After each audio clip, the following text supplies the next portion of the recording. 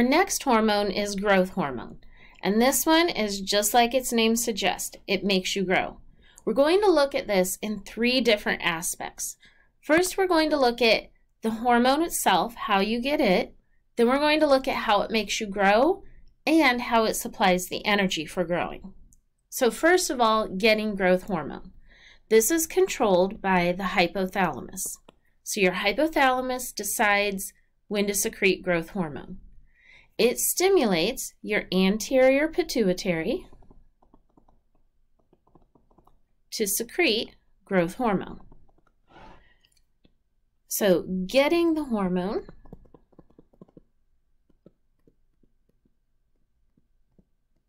involves your hypothalamus stimulating your anterior pituitary secrete growth hormone. Now, growth hormone has a synergistic partner. Remember back in chapter 7, we talked about PTH and calcitriol are synergistic? Same idea here. Remember, synergistic is when two hormones are going to work together.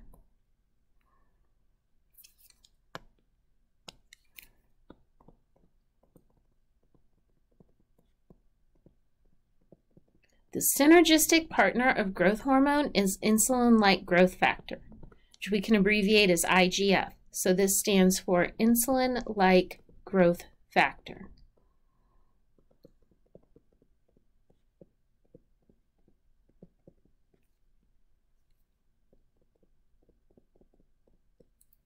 That comes from the liver. So once you have growth hormone, it goes to the liver and stimulates the liver to secrete IGF. Now you have growth hormone and IGF in the blood. So these are your two synergistic hormones.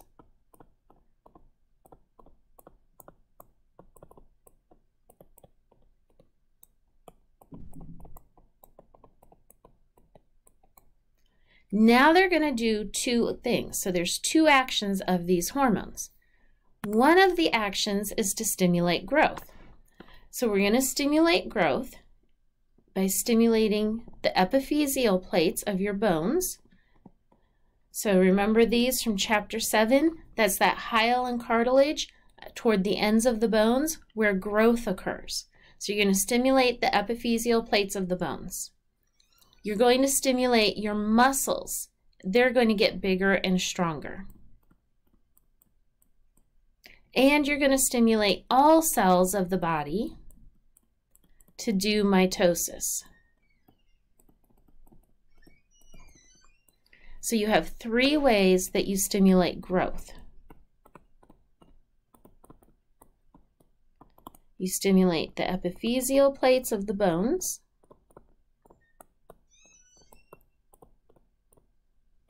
You stimulate the muscles to get bigger and stronger. And you stimulate mitosis in other cells of the body. Remember, the more cells you have, the bigger you are. Back in chapter 4, when we talked about cells, we said how uh, like a 10-year-old has more cells than a 1-year-old because a 10-year-old is bigger. All of this growth requires energy.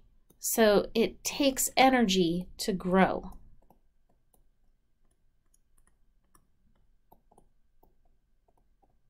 So the other thing that these hormones do is supply you with that energy. So in order to make energy,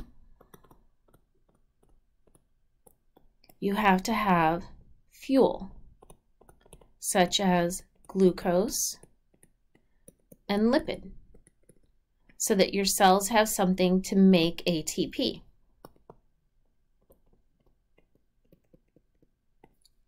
So growth hormone stimulates your liver to do glycogenolysis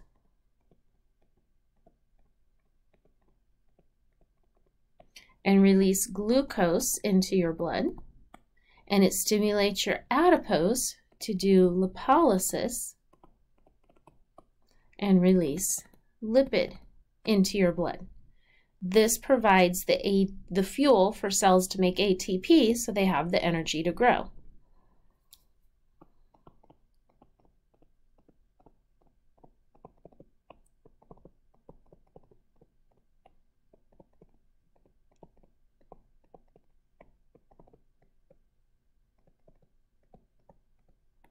So the result of this is you get an increase in blood nutrient levels.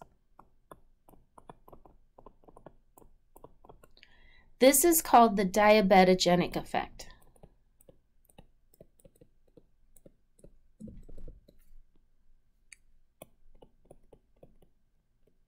When a hormone is raising blood nutrient levels so that you can make more ATP, that is the diabetogenic effect.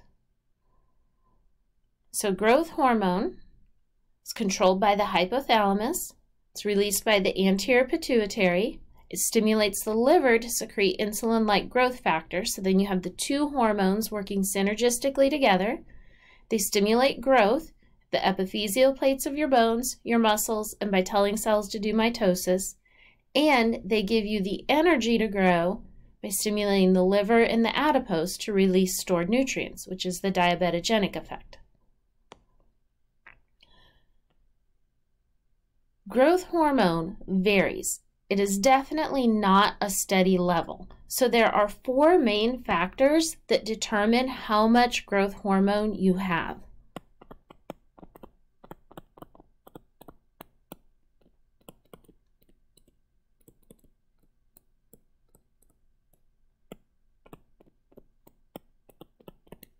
The first one is age. This is pretty obvious. Kids grow. Adults are done growing. Remember in chapter 7, you learned that the epiphyseal plate closes at the end of puberty and you don't grow anymore. So here you can see it's very high in children and then it drops. Once you get to be an adult, your growth hormone level drops with age. So it is highest in children because children grow.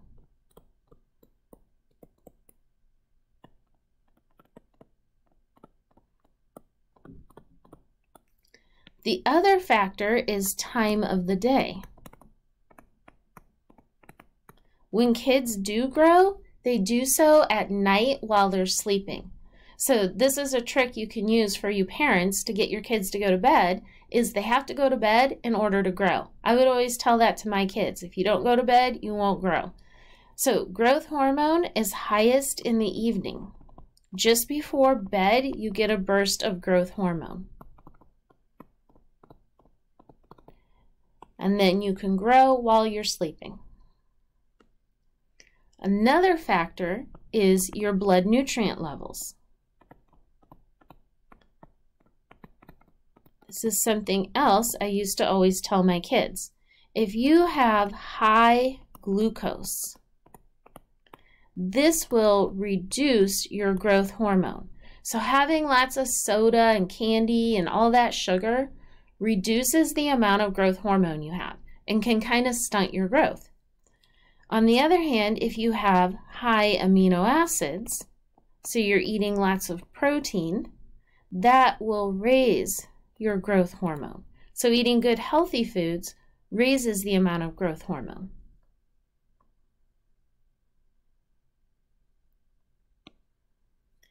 The fourth one is stress.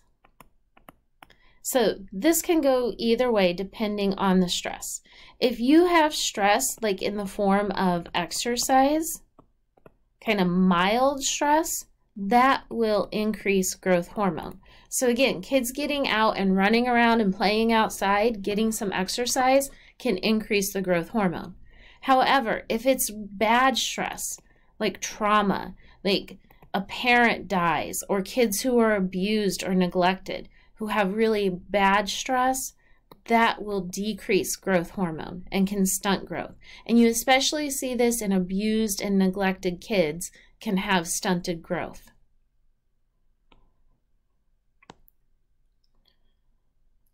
There are other factors too that can cause extremes in the amount of growth hormone. So here you can see we have hyposecretion of growth hormone results in dwarfism. And here is the current shortest person in the world, 2 feet 5.37 inches. Or you can have hypersecretion of growth hormone, where your pituitary gland secretes way too much, and that results in gigantism. Here is the current tallest person in the world at 8 foot 1 inch.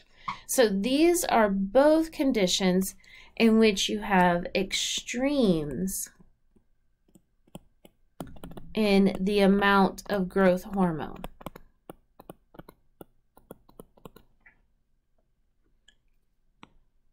The world record for the tallest person ever is Robert Wadlow.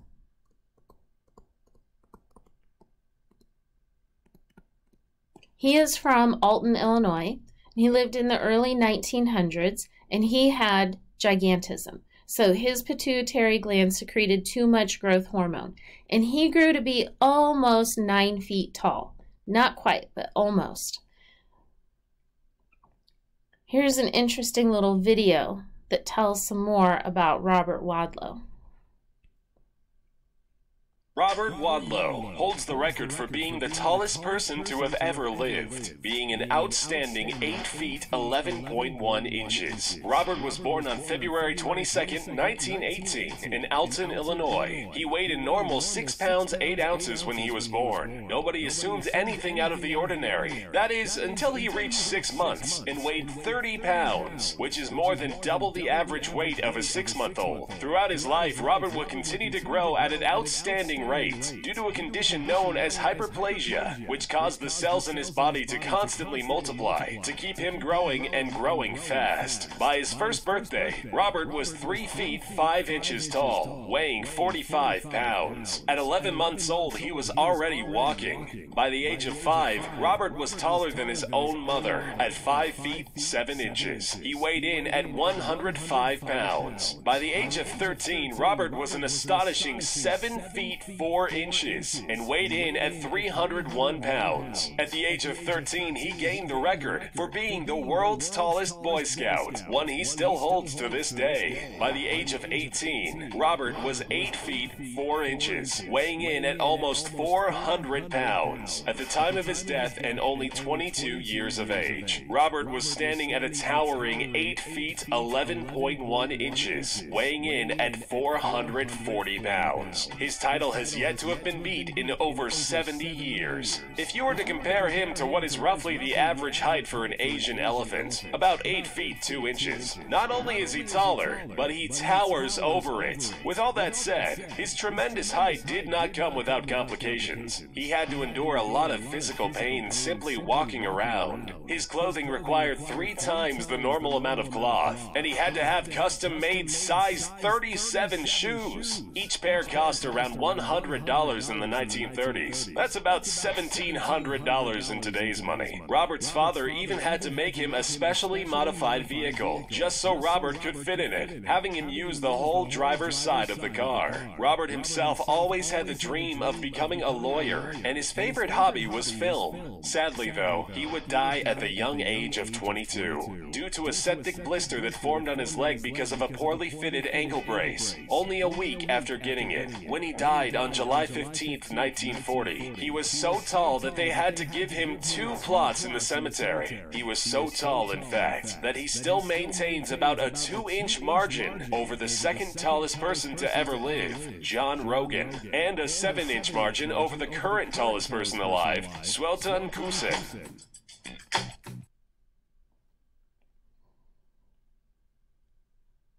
So Robert died in 1940 from a septic blister. That was before we had antibiotics. Antibiotics came out in the mid 1940s.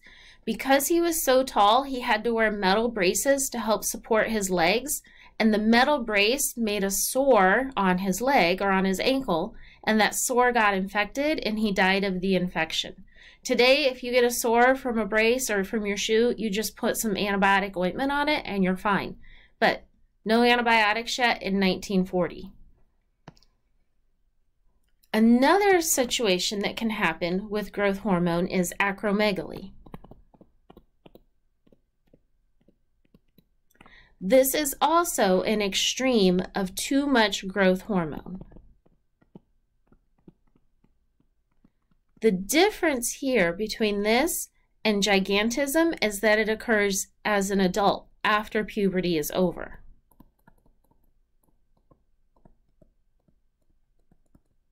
So remember with Robert, he was tall as a child.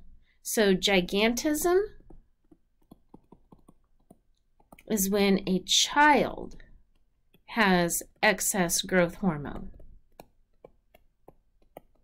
Acromegaly is when an adult has excess growth hormone. Think about what you learned in chapter 7 in the bones. Kids have epiphyseal plates, adults have epiphyseal lines.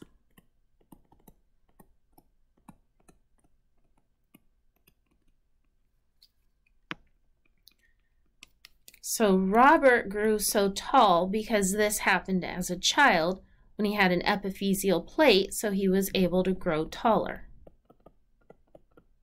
After puberty, your epiphyseal plates close, so you have an epiphyseal line. So you can't get taller. Instead, the bones get wider.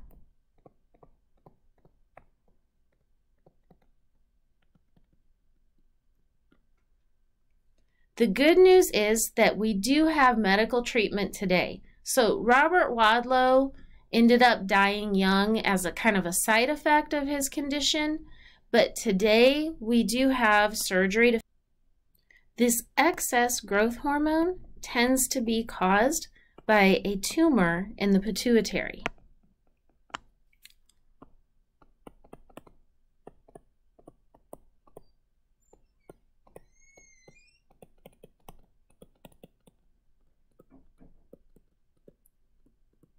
And today we have medical treatment for this.